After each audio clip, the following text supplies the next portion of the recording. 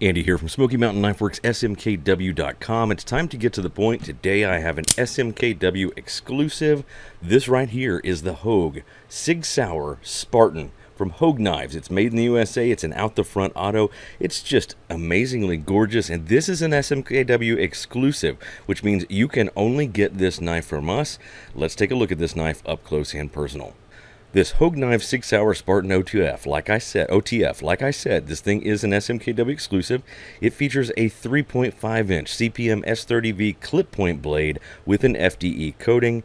And check out that blade etch right there. That is the Molon Labe blade etch on this particular knife. Now, this is an OTF. It means it's an out the front auto. It is dual action with a thumb slide, which is right there under my pinky.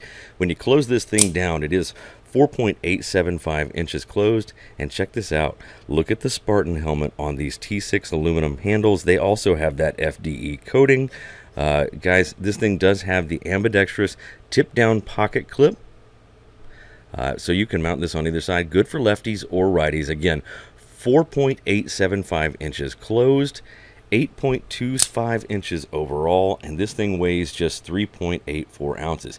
This is the SMKW exclusive Hogue Sig Sauer Spartan OTF. Uh, this is $340 at smkw.com, $339.96 over at smkw.com. Guys, there's just no better fidget spinner than a dual action OTF. I'm telling you right now. You can sit here and do that all day long. This is just a gorgeous knife.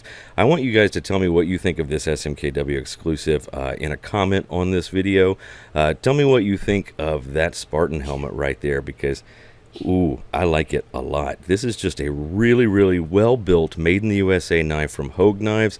I'll leave you a link in the caption of this video so that you can get to this over at smkw.com. Remember, it is an exclusive, it is a limited edition in general. So if you want it, you should probably jump on it and get it uh, go over there and get it right now at smkw.com. Hey, while you're at it, make sure you're liking, sharing, and subscribing to these videos. Make sure you ring that notification bell so you can get to the point with smkw.com every single day.